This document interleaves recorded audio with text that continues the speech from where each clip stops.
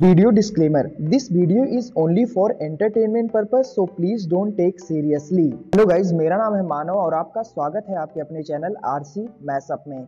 Guys आज के इस वीडियो में हम देखने वाले हैं एक कमाल के मैसअप रिएक्शन को। अगर आपको ये मैसअप रिएक्शन की वीडियो पसंद आएगी तो वीडियो को लाइक और शेयर ज़रूर कर दीजिएगा और चैनल पे नए हैं तो चैनल को सब्सक्राइब ज़रूर कर लीजिएगा। थैंक यू तो गाइज़ आगे की बात हम वीडियो खत्म होने के बाद करते हैं तो चलिए इस कमाल के मैसअप रिएक्शन की वीडियो की शुरुआत करते हैं। Hope you will enjoy. कोई क्या कह रहा है? जितने वो उतने बातें लेकिन तीन वॉरशिप उस सागर में पहुँच चुकी हैं। वो रेड सी बोलो जो भी अरेबियन सी है जो भी है उधर उधर वो जाके पहुँची हुई है और भाई साहब खड़ी हुई है उधर। बिल्कुल। अब ये तीन वॉरशिप बहुत बड़ी चीज़ होती है तो हमें पता है पाकिस्तान ने डिस्ट्रॉयर अभी तक हाँ। पाकिस्तान का जो अभी जब से ये ईरान को इसराइल का हुआ है। पाकिस्तान ने रूट ही चेंज कर लिया कि ईरान से कोई फ़्लाइट नहीं जाएगी हमारी ज़ाहिर बात फुल फुल चेंज कर दिया है और भी दुनिया की फ़्लाइट से चेंज औरों कर ने भी है। में दिया। प्रॉब्लम चल रहा ज़ाहिर है बात है हाँ। उस जगह पे कोई जहाज़ ही अब नहीं उड़ाना चाहता। है हाँ। और तीन वॉरशिप लेकर इंडिया भी उधर पहुँच उधर पहुँच गया। अब ये नहीं पता ईरान के लिए उनके लिए ये सस्पेंस है।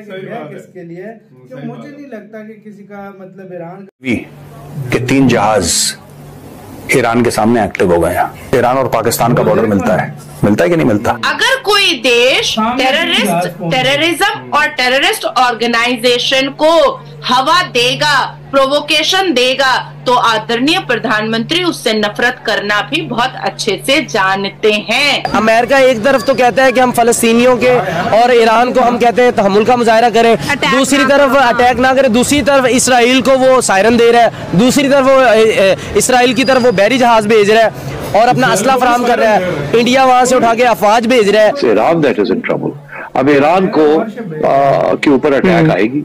पहले तो मैं समझता हूँ कि हिजबुल्ला के ऊपर वो करेंगे। और मेरा ख्याल है ईरान को और प्रोवोक करेंगे। ईरान को पूरी प्रोवोकेशन नहीं हुई और प्रोवोक करेंगे। टेररिज्म एक्टिविटीज़ का शुरुआत किसने किया था?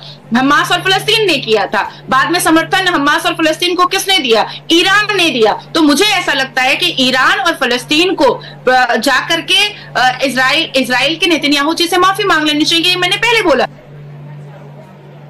नमस्कार दोस्तों। दोस्तों इस वक्त भारत ने एक बहुत बड़ा कदम चला है मिडिल ईस्ट में जहाँ पर भारत ने ईरान के पास अपने तीन वॉरशिप भेज दिए हैं जिसके बाद से दोस्तों पूरे मिडिल ईस्ट में एक बड़ा हलचल मच गया है जहाँ पर लगातार इसराइल ईरान को धमकी दे रहा है और कह रहा है कि अब ईरान के काफ़ी सारे स्ट्रेटेजिक एसेट्स पे वार किए जाएँगे और उन्हें नष्ट कर दिया जाएगा। और इसके साथ साथ ईरान के जितने भी पॉलिटिकल रिजीम है, उनका तख्ता पलट भी किया जाएगा। और इस चीज़ को लेकर के अब भारत भी काफ़ी ज़्यादा कॉन्शियस हो गया है और अपनी प्रेजेंस बढ़ा रहा है ईरान में, जिसके बाद से पाकिस्तान काफ़ी ज़्यादा परेशान है। और पाकिस्तान अब कह रहा है कि अब भारत इसराइल और अमेरिका के साथ मिल करके ईरान का खात्मा करने जा रहा है, क्योंकि ईरान ही एक ऐसा देश है जो मिडिल ईस्ट में अशांति फैला रहा है और टेररिस्ट को सपोर्ट प्रोवाइड कर रहा है। तो चलिए इसी पर आगे पाकिस्तानी मीडिया का रिएक्शन देखते हैं। अगर आपको हमारा ये वीडियो पसंद आए तो वीडियो को लाइक करें और हमारे चैनल को सब्सक्राइब कर लें। इंडिया की तरफ़ से एक बड़ी डेवलपमेंट सामने आई है और इंडिया का नेवल वॉरशिप डॉक किया गया है और ये खबर ये है कि इस वक्त क्योंकि वॉर एस्केलेट कर रही है, आप जानते हैं। और ज़ाहिर है कि ऐसी सिचुएशन में तमाम कंट्रीज़ जो है तैयार होती हैं। तो जो इंडिया है, उसका नेवल वॉरशिप एक ईरान पोर्ट पर डॉक किया गया, ये कहा जा रहा है। और उसकी खबर ये बताई जा रही है कि उसकी वजह ये है कि क्योंकि ये जो है, ये जंग इस वक्त एस्केलेट करती हुई नज़र आ रही है। तो मैं आपके सामने ये जो डेवलपमेंट हैं वो भी रख देती हूँ। देखें इसमें ये बात कही जा रही है कि क्या ये जो है ये इस वजह से है क्योंकि जो जंग है ये एक स्ट्रेटेजिक डेप्थ है इंडिया की भारत की तरफ़ से ये जो एक नेवल वॉरशिप सिर्फ़ एक नहीं बल्कि दो तीन है। अगर हम उसकी उसमें जाएँ तो हमें पता ही चलता है कि ये जो खबरें आई यानी इस उसके बाद तो काफ़ी खबरें ये आ रही हैं। वैसे तो अभी जो सऊदी अरेबिया वगैरह की खबरें हैं वो भी मैं आपके सामने रखूँगी। लेकिन जो इंडिया के नेवल वॉरशिप की बात है तो एक ऐसे टाइमिंग में ये खबर नज़र आती है कि जब आप जानते हैं कि वॉर की इस वक्त क्या सिचुएशन है। अब कुछ लोग ये कह रहे हैं कि जो ईरान है उसने मदद तलब की है। वो हेल्प चाहता है इंडिया की। यानी ईरान इस वक्त आ, मदद मांग रहा है भारत से। तो देखें अगर हम देखें तो इसराइल भी मदद मांग रहा है भारत से।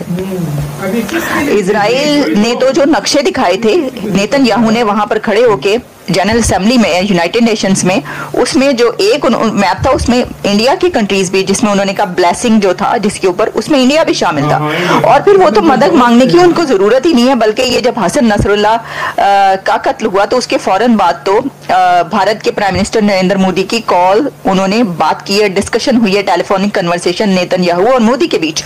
तो ऑब्वियसली जब आ, ऐसी सिचुएशन है तो इंडिया एक ऐसा कंट्री इस वक्त है इतना ताकतवर है एक ऐसी पोजीशन में है कि ऐसे किसी भी बड़े एस्केलेशन में दुनिया की उसको देखा जाएगा। कुछ कंट्रीज़ देख रहे होंगे उसकी तरफ़ इसलिए।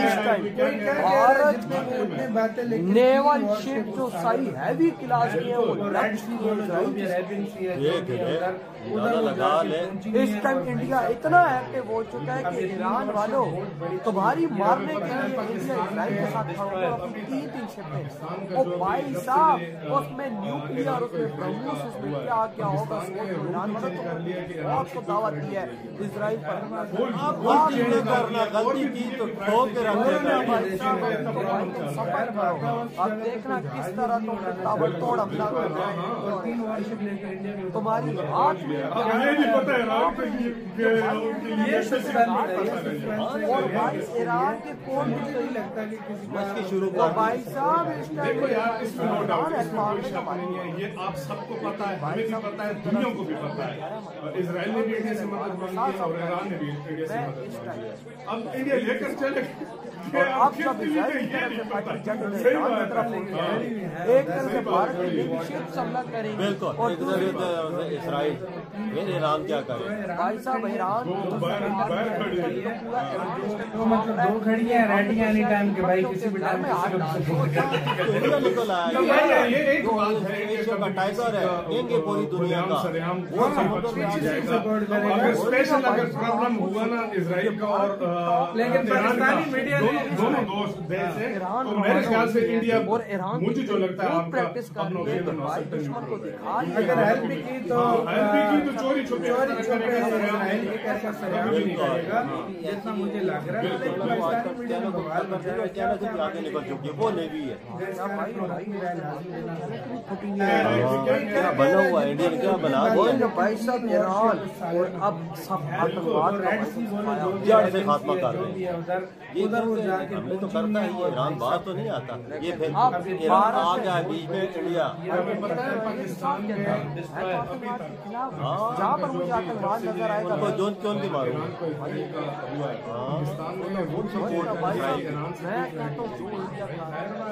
मुल्क चेंज कर दिया और भी दुनिया के फ़्लाइट से चेंज और भी विदेशों में प्रॉब्लम चल रहा है। गाइज़ आपको यह मैसअप रिएक्शन का वीडियो कैसा लगा? अपने थॉट को नीचे वीडियो के कमेंट में ज़रूर बताइएगा। वीडियो पसंद आई हो तो वीडियो को लाइक ज़रूर कर दीजिएगा। चैनल पे नए हैं तो चैनल को सब्सक्राइब ज़रूर कर लीजिएगा।